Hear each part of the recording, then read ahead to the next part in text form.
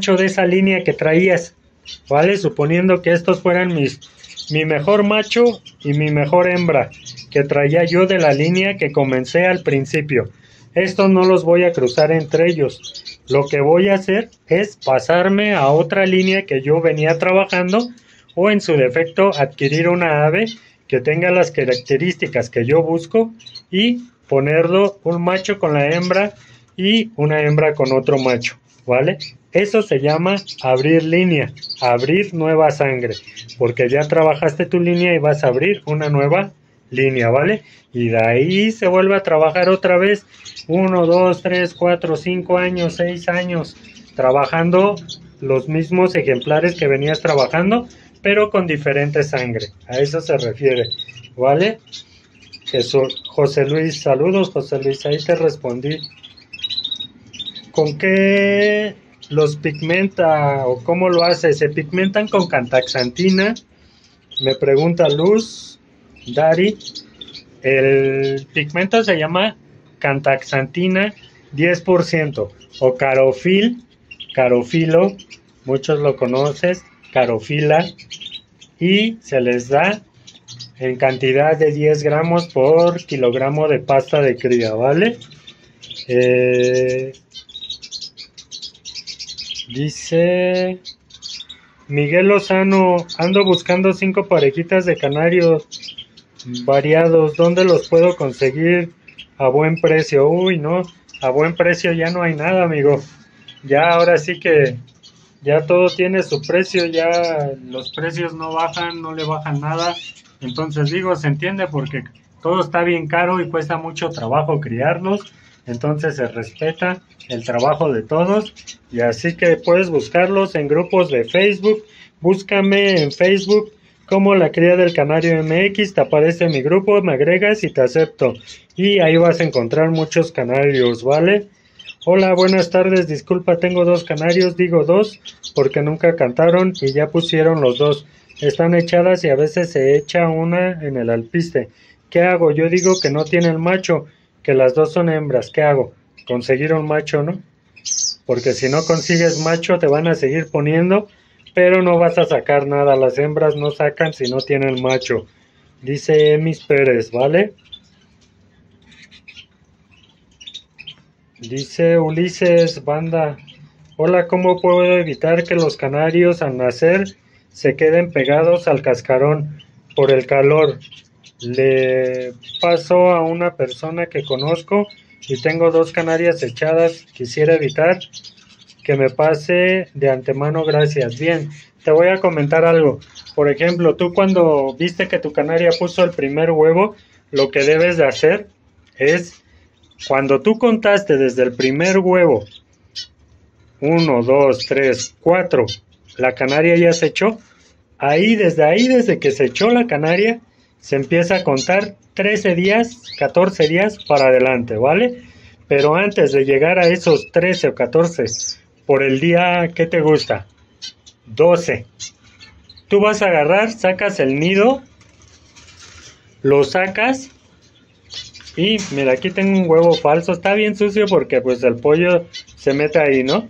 Pero vas a tomar el huevo y lo vas a meter en agua. Nada más lo sumerges. Uno, lo regresas. Tomas el otro, lo sumerges y lo regresas.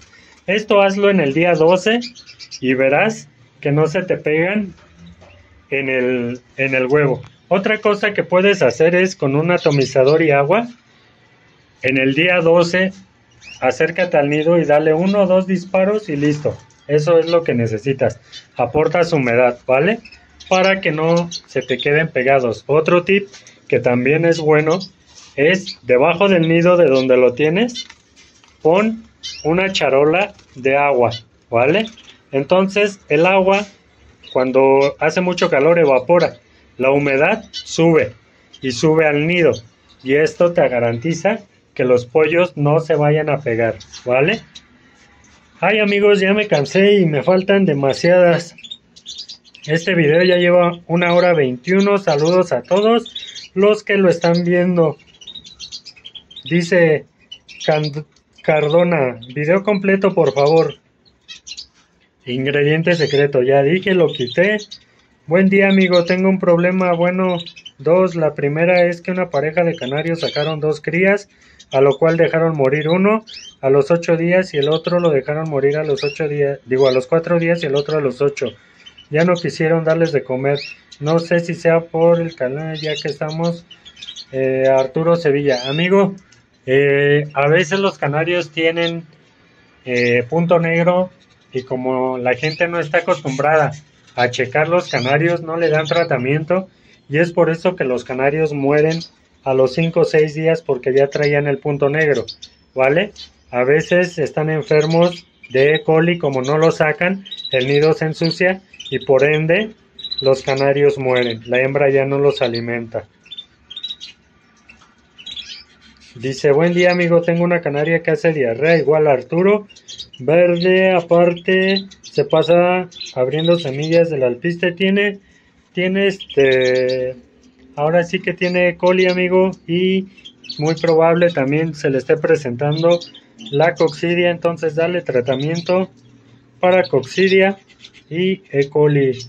Dice Verónica, un saludo, una pregunta. Me encuentro, me encontré un pajarito de siete colores conocido como pájaro mariposa.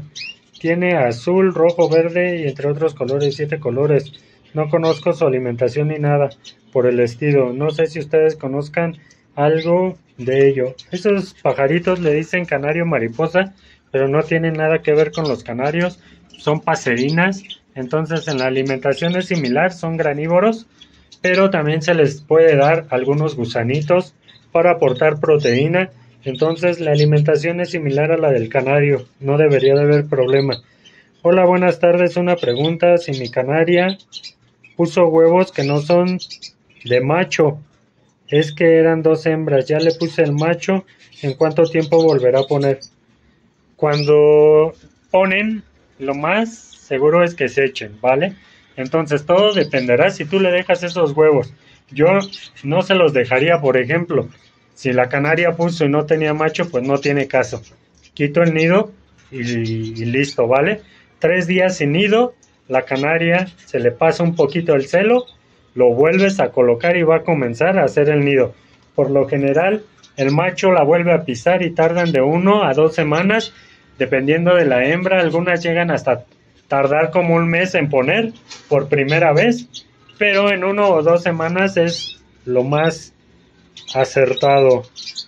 Dice Mariana, hola, buenas tardes, soy tu seguidora, soy del Estado de México y respecto al cruzar entre hermanos, eso no se debe hacer.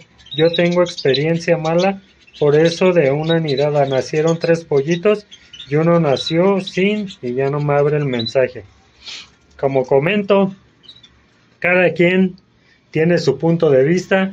Yo tengo años criando tengo años manejando la consanguinidad.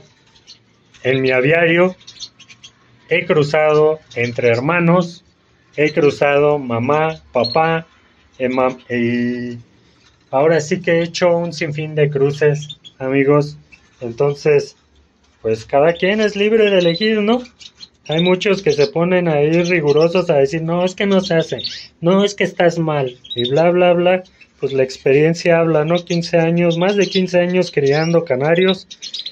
Entonces, pues ahora sí que ustedes sabrán a quién le hacen caso, ¿no? Cada quien.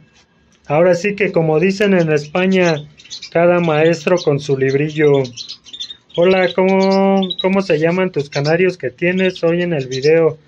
Uy, amigo, pues mira, tengo cabecitas negras, canarios negros rojo mosaico, tengo Bruno rojo mosaico, tengo Pales, tengo Ágata rojo mosaico, Cabecita, rojo lipocromo, Ágatas, eh, Bruno fondo blanco, Onix, Opales, este, Opales, Onix, Jaspe, mmm, Ágata plata, por ahí anda uno, en, sí tengo hembra roja nevada, tengo de varios, entonces pues trato de meter, de meter, perdón, de varias razas.